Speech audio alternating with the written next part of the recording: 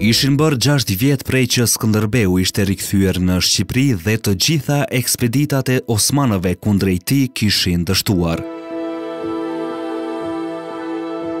Ai ishte bërë aq pengesë e madhe për Perandorinë Osmane, saqë sulltani e mori përsipër personalisht rrëzimin e tij. Në qershor të një mijë e katërqind e pesëdhjetës, dy vjet pasi osmanët kishin pushtuar Sfetigradin, ata rrethuan Krujën me një ushtri që numëronte afërsisht njëqind mijë burra dhe të udhëhequr nga vetë Sulltan Murati i Dytë dhe djali i tij Mehmeti i Dytë.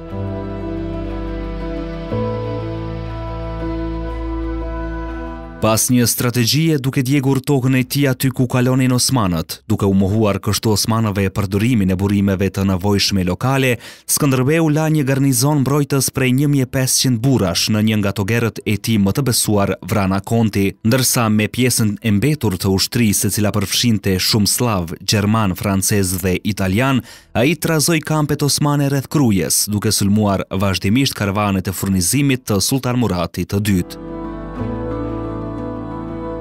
Garnizoni zbrapsi tre sulme të mëdha të drejtpërdrejta mbi muret e qytetit nga osmanët, duke u shkaktuar humbje të mëdha forcave rrethuese. Përpjekjet osmane për të gjetur dhe për të prerë burimet e ujit dështuan, ashtu si edhe një tunel për të hyrë brenda, i cili u shemb papritur. Një ofertë prej 300.000 aspra, monedha argjenti osmane dhe një premtim për gradën e lartë si oficer në ushtrinë osmane që iu bënë Vrana Kontit, u refuzuan të dyja prej tij. Gjatë rrethimit të parë të Krujës, tregtarët venecianë nga Shkodra i shitën ushqime ushtrisë osmane dhe ata të Durrësit furnizuan ushtrinë e Skënderbeut. Një sulm i zemëruar i Skënderbeut mbi karvanët venecianë ngriti tensionin mes tij dhe Republikës, por çështja u zgjidh me ndihmën e udhëheqësit të Duracos, i cili i ndaloi tregtarët venecianë të furnizonin më osmanët. Me gjithë ndihmën e Venedikut për Osmanët në shtator të vitit 1450, kampi Osman ishte në rrëmujë, pasi kalaja nuk ishte marrë ende. Morali ishte zhytur dhe sëmundja po përhapej.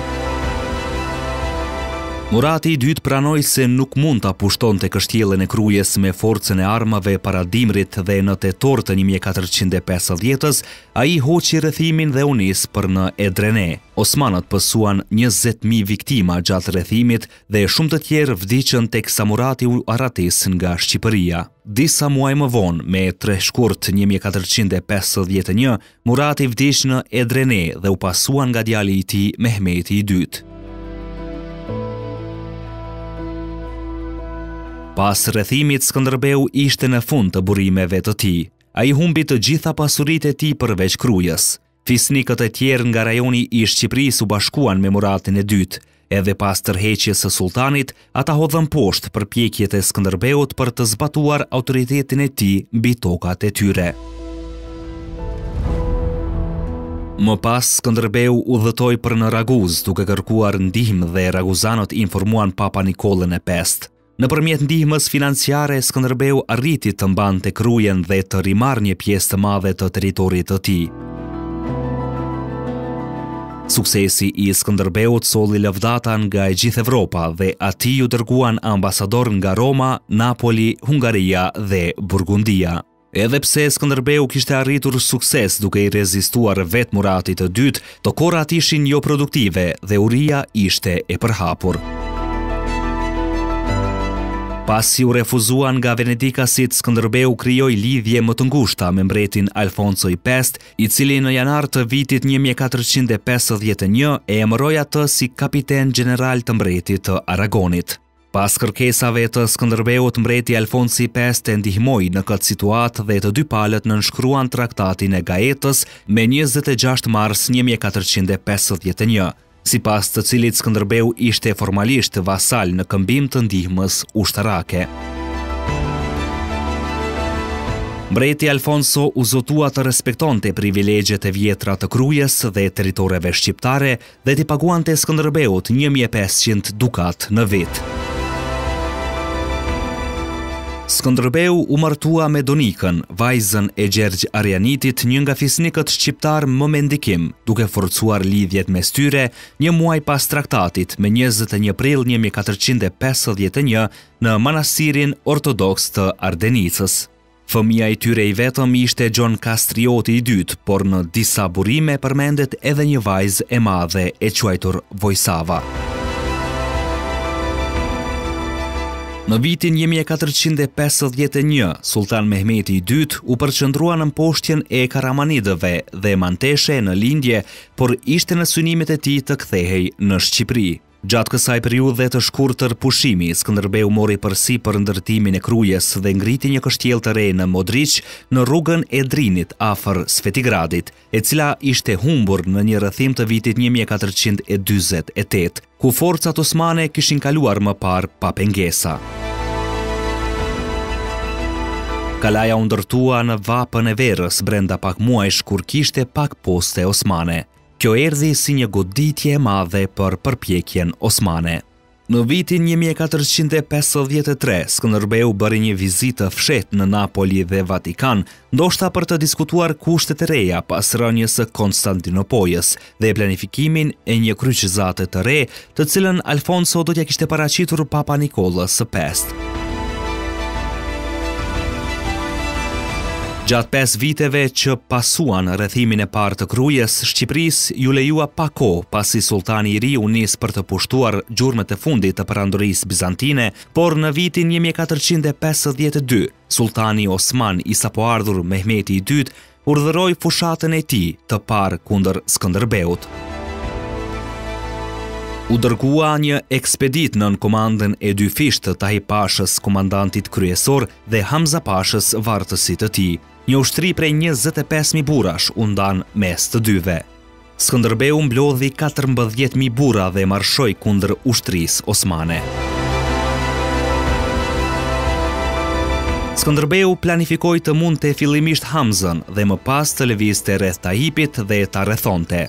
Ai nuk i dha shumë kohë Hamzës për t'u përgatitur dhe më 21 korrik ai sulmoi menjëherë. Sulmi i ashpër zuri në befasi forcat osmane duke rezultuar në arratisjen e tyre. Në të njëjtën ditë Skënderbeu sulmoi ushtrinë e Tahipit dhe i mundi me Tahipin të vrarë dhe osmanët mbetën pa komandantin e tyre teksa iknin. Fitorja e Skënderbeut mbi një sundimtar edhe më të fuqishëm se Murati ishte një surprizë e madhe për shqiptarët. Gjatë kësaj periudhe, përleshjet midis Skënderbeut dhe familjes Dukagjini, të cilat ishin zvarritur prej vitesh, gjetën një fund me një ndërhyrje pajtuese të Papës, dhe më 1454 Më në fund u arrit një traktat paqeje mes tyre. Më 22 prill 1453, Mehmeti dërgoi një tjetër ekspeditë në Shqipëri nën Ibrahim Pashën. Po atë ditë, me gjithë stuhitë, Skënderbeu nisi një sulm të shpejtë kalorësie, i cili hyri në kampin e armikut duke shkaktuar rrëmujë dhe kaos.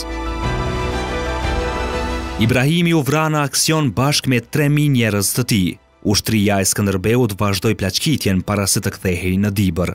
Ai u kthye triumfues me ushtrinë e tij me të cilën kishte ndarë plaçkën e tij. Pesë javë më vonë Mehmeti i Dytë pushtoi Konstandinopojën, e cila shqetësoi thellësisht shtetet e krishtera të Evropës.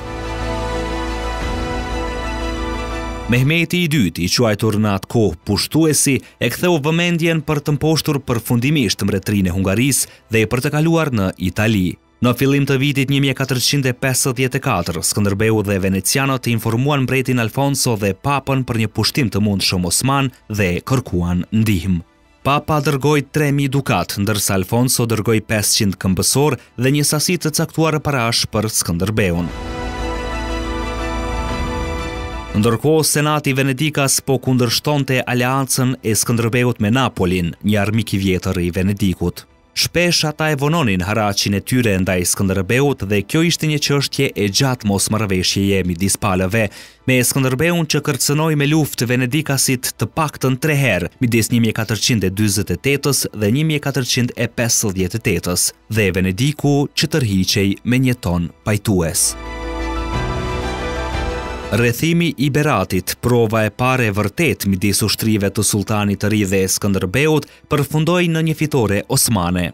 Skënderbeu e rrethoi kështjellën e qytetit për muaj të tërë, duke bërë që oficeri i demoralizuar Osman në krye të kështjellës të premtonte dorëzimin e tij.